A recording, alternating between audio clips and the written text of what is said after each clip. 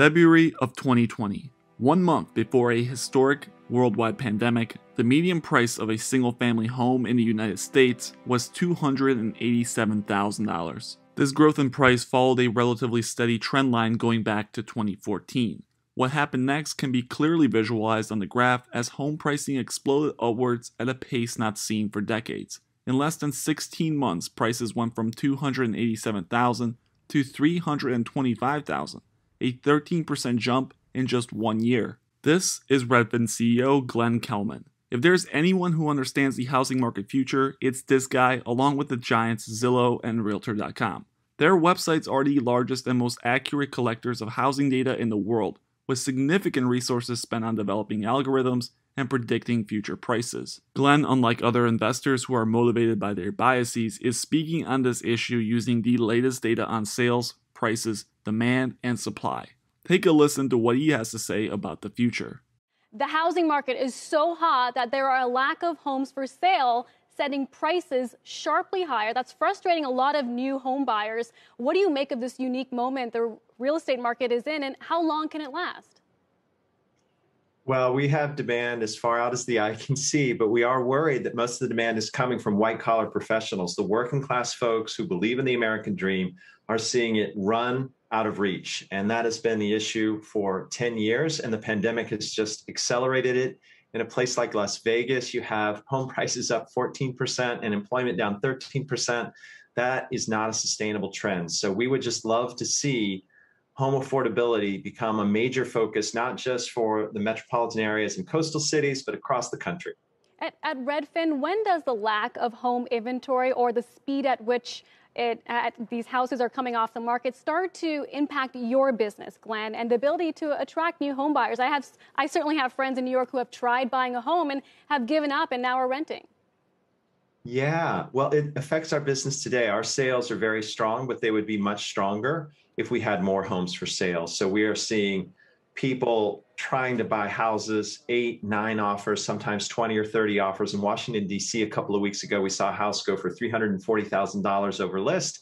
As you can see, multiple events have perfectly come together to create a perfect storm. Massive demand with little supply and a spiral of inflation in building materials, along with an environment that has underbuilt the number of homes necessary to keep up with America's demand prices are now projected to grow another 12% this year, meaning that the average single family median price by 2022 should be around $364,000, a number that cannot keep up with wage growth. Homes right now are becoming luxury goods, unavailable to the millions of blue collar workers who have seen themselves priced out of a market that was expensive for them to begin with.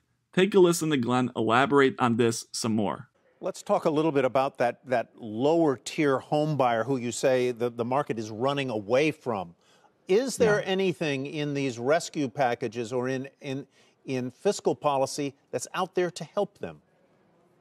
Yes. I mean, first of all, there's just direct stimulus, um, which is always going to help people feel more confident about buying a home. But I think the long term solution is to do something to replace subprime lending. So credit is at its lowest level in 14 years.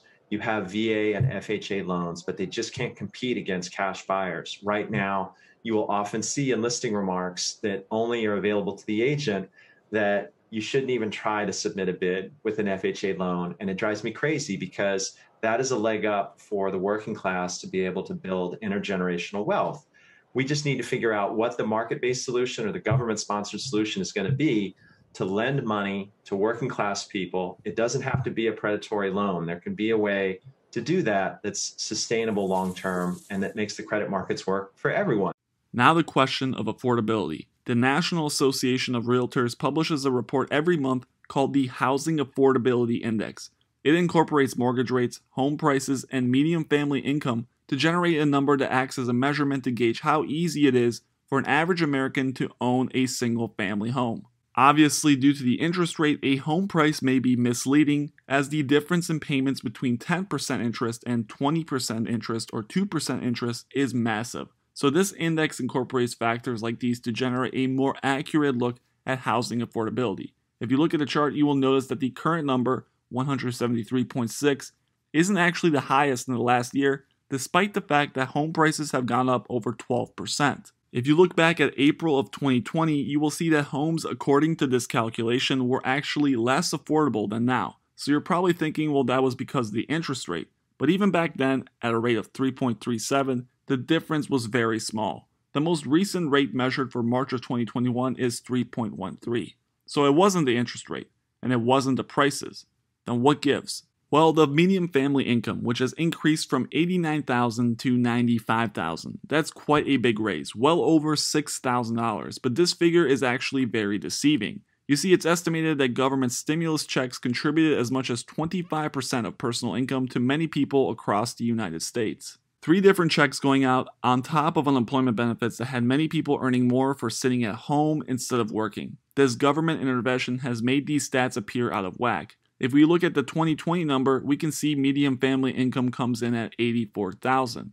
It's reasonable to assume that the true gain in income levels this year without government help is much less, maybe even lower than before due to job losses. Without these adjusted numbers, and if the government doesn't continue to print stimulus checks, the true affordability of housing will look a lot worse, especially if median prices continue their trajectory upwards. Thank you guys for watching, and please make sure you hit that subscribe button if you enjoyed.